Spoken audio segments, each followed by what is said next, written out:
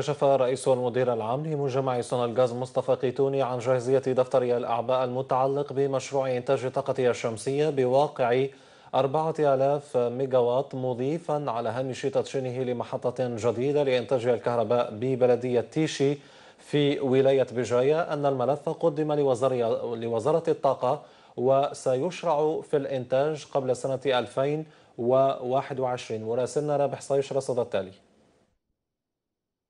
Ce cahier des charges, il va être euh, mis euh, en concurrence pour aller avec une capacité de 40 000 euh, MW d'ici 2021. Euh, le principe est simple, c'est ils seront mis sur le marché, il y aura un appel à concurrence et ce qui nous intéresse nous, c'est que que ce soit un partenaire étranger ou un partenariat avec, euh, les, avec les Algériens, il faudrait qu'il y ait une intégration du matériel photovoltaïque. Il faut qu'il soit fait en Algérie, dans des usines, des usines algériennes.